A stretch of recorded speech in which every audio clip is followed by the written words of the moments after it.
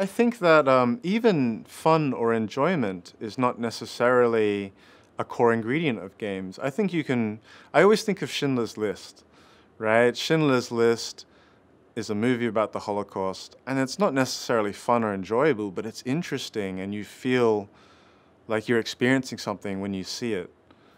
Um, and I think games can be the same thing. I, I, you know, if a game is still it's interesting or it's challenging or it's showing you something that you've never seen before, that's something worth creating and, and worth sharing.